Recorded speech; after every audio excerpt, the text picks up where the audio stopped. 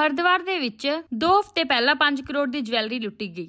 ਜੀ ਹਾਂ, ਤੁਸੀਂ ਵੀ ਸੁਣ ਕੇ ਹੱਕੇ ਬੱਕੇ ਰਹਿ ਜਾਵੋਗੇ ਕਿ ਲੱਖਾਂ ਦੀ ਨਹੀਂ, ਬਲਕਿ ਕਰੋੜਾਂ ਦੀ ਜਵੈਲਰੀ। ਜਾਂਚ ਦੇ ਦੌਰਾਨ ਪਤਾ ਲੱਗਾ ਕਿ ਇਸ ਡਕੈਤੀ ਦਾ ਸੰਬੰਧ ਪੰਜਾਬ ਨਾਲ ਜੁੜਿਆ ਹੋਇਆ ਹੈ, ਜਿਨ੍ਹਾਂ ਨੌਜਵਾਨਾਂ ਵੱਲੋਂ ਚੋਰੀ ਕੀਤੀ ਗਈ। ਉਹਨਾਂ ਵਿੱਚੋਂ ਇੱਕ ਪੰਜਾਬ ਦਾ ਨੌਜਵਾਨ ਸੀ, ਜੋ ਸ਼੍ਰੀ ਮੁਕਤਸਰ ਸਾਹਿਬ ਦਾ ਰਹਿਣ ਵਾਲਾ ਸੀ ਜਿਸ ਦੀ ਪਹਿਚਾਣ ਸੁਰਿੰਦਰਪਾਲ ਵਜੋਂ ਹੋਈ। ਜਿਸ ਦੀ ਜਾਣਕਾਰੀ ਪੁਲਿਸ ਵੱਲੋਂ ਦਿੱਤੀ ਗਈ, ਉੱਥੇ ਹੀ ਉਹਨਾਂ ਵੱਲੋਂ ਦੱਸਿਆ ਗਿਆ ਕਿ ਦੋ ਮੁਜਰਮ ਉਹਨਾਂ ਵੱਲੋਂ ਹੋਰ ਗ੍ਰਿਫਤਾਰ ਕੀਤੇ ਗਏ, ਜਿਨ੍ਹਾਂ ਕੋਲੋਂ 15 ਲੱਖ ਦੀ ਜਵੈਲਰੀ ਬਰਾਮਦ ਹੋਈ ਡੀਜੀਪੀ ਵੱਲੋਂ ਖੁਲਾਸਾ ਕੀਤਾ ਗਿਆ ਕਿ ਇਸ ਡਕੈਤੀ ਵਿੱਚ ਪੰਜਾਬ ਦਾ ਨੌਜਵਾਨ ਸ਼ਾਮਿਲ ਸੀ ਜਿਸ ਦਾ ਐਨਕਾਊਂਟਰ ਕੀਤਾ ਗਿਆ ਉਸ ਕੋਲੋਂ 25 ਲੱਖ ਦੀ ਜਵੈਲਰੀ ਬਰਾਮਦ ਹੋਈ ਤੇ ਪੁਲਿਸ ਵੱਲੋਂ ਕਿਹਾ ਗਿਆ ਜਲਦੀ ਹੀ ਅਸੀਂ ਬਾਕੀ ਮੁਜਰਮ ਵੀ ਹਿਰਾਸਤ ਵਿੱਚ ਲੈ ਲਵਾਂਗੇ एक तो जो घटना हुई थी एक सितंबर को हरिद्वार में अ, ये इतनी बड़ी घटना थी अ, पूरे प्रदेश के लिए एक तरह से अ, सिर्फ अ, पुलिस विभाग के लिए नहीं सरकार के लिए भी एक बहुत चिंता की बात थी और हमारी टीम ने खासतौर से एसएसपी हरिद्वार के नेतृत्व में जो हमारी टीम इस घटना के खुलासे में लगी थी।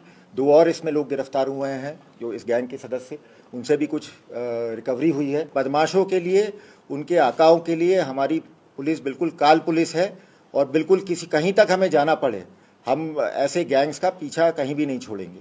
और बिल्कुल अगर कोई सोचता है कि बंदूक के दम पे यहाँ आके लूटपाट कर सकता है तो बंदूक का जवाब हम गोली से देंगे।